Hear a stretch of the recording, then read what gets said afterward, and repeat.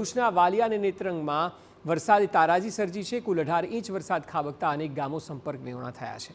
વાલિયાના આકાશી દ્રશ્યો પણ સામે આવ્યા છે. ચારે તરફ જળબંબાકાર જેવી સ્થિતિ સર્જાઈ છે.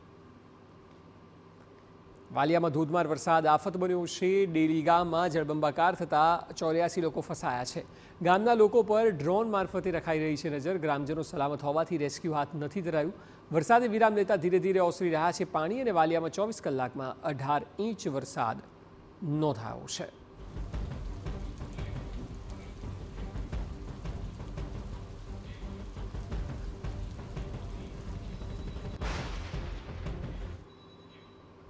તો આ વિષય પર વધુ માહિતી આપી રહ્યા છે સંવાદદાતા અંકિત મોદી. અંકિત, જે પ્રકારનો વરસાદ છેલ્લા ચોવીસ કલાકમાં જોવા મળ્યો તે અકલ્પનીય હતો કારણ કે કલાકોની અંદર જળસ્તર એટલા વધી ગયા. ગઈકાલે પણ જે આપ, જે રિપોર્ટ બતાવી રહ્યા હતા કે લોકોને સ્થળાંતર પણ કરાયા છે. આપ જણાવો હાલ સ્થિતિ કેવી છે અને પ્રશાસન કેટલું તૈયાર છે?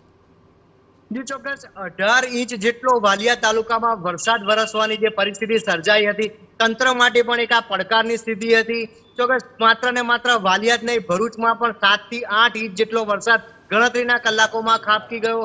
અન્ય તાલુકાઓમાં પણ પાંચ ઇંચ, સાત ઇંચ જેટલો વરસાદ ખાબક્યો કહી શકાય આખા ભરૂચ જિલ્લાની પરિસ્થિતિ ખૂબ જ બદતર બની હતી. પરંતુ વાલિયા તાલુકાની જો વાત કરવામાં આવે, તો વાલિયા તાલુકામાં જે પ્રકારે વરસાદ વરસ્યો, તો એ ખૂબ જ મોટી ચિંતાજનક પરિસ્થિતિનું નિર્માણ થયું હતું.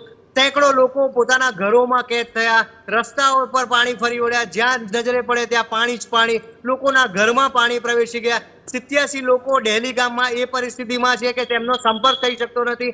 તેઓ એક બેટ જેવી પરિસ્થિતિમાં મુકાઈ ગયા છે જેમની પર ડ્રોનથી નજર રાખવામાં આવી રહી છે. જોકે આ લોકો પાણીની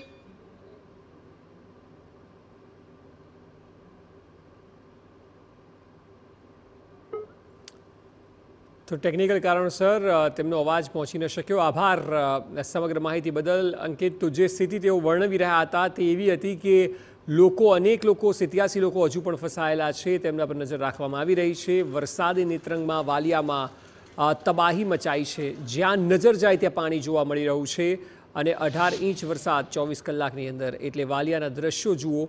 જે તારાજી સર્જાઈ, તેનો આ આકાશી દ્રશ્યો આપને ડ્રોન મારફતે જોવા મળી રહ્યા